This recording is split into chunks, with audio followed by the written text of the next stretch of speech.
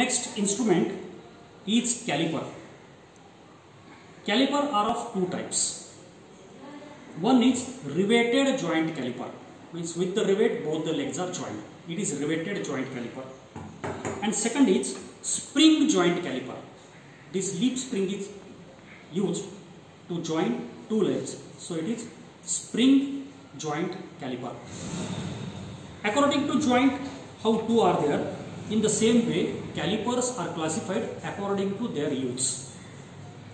According to their use, three kind of calipers are there. One is outside caliper, inside caliper and odd leg caliper. Let us see the difference between them. This is outside caliper. If you observe, its legs are turned inside. This is called as outside caliper. Outer dimensions are measured with this. For example, if I want to measure thickness of this blade, I will set these two legs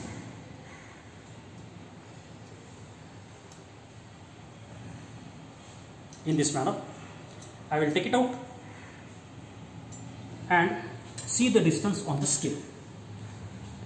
So, calipers are used with scale. You have to measure the distance and transfer it on the scale and check the distance.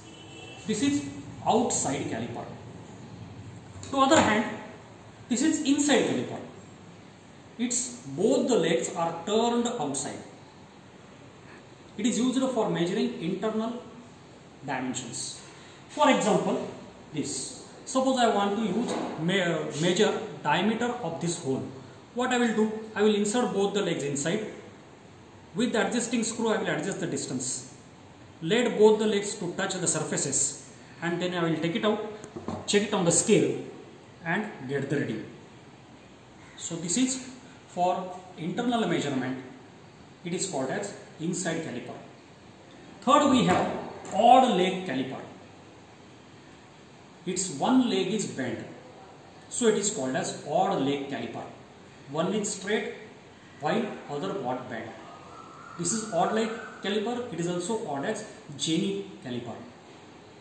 It is used to find center. Similarly, it is used for marking parallel lines. Suppose I want to mark parallel line with this edge. Then I will set this odd leg to the edge and I can mark line in this way. So for marking parallel line, this is used. So three kind of calipers according to application we have.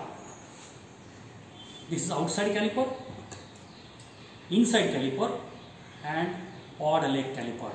These are three calipers according to application will be used. Our next instrument is regular instrument is scale, steel rule. You can observe many graduations are there. At the top inches graduation, at the bottom millimeter graduations are there. What is the difference in this scale and your regular scale used in compass?